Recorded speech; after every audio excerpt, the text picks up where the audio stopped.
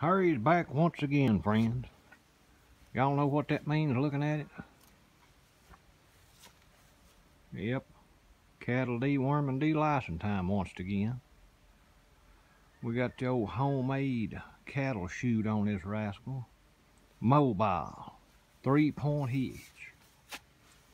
Handy as pocket on shirt. Put it to the tractor of choice and take it from field to field when you got four, five, six different places you got cattle you need to work on. Don't have a chute set up, head gate at each facility. Just make your mobile chute and take it with you. Now you can get them souped up jobs down to co-op places. They sell them for anywhere from probably oh, 1500 to 3500 You can go for broke on a cattle chute. This is just an old bald head gate right here. Old school.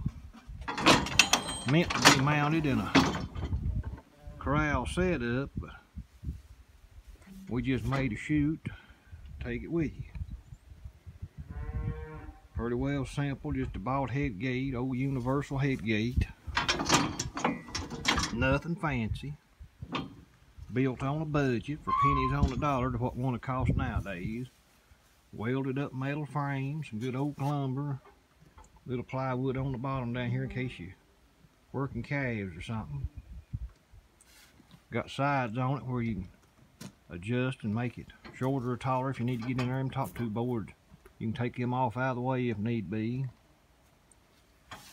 Handy little contraption to have.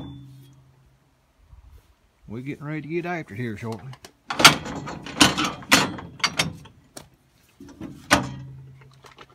See how everything goes.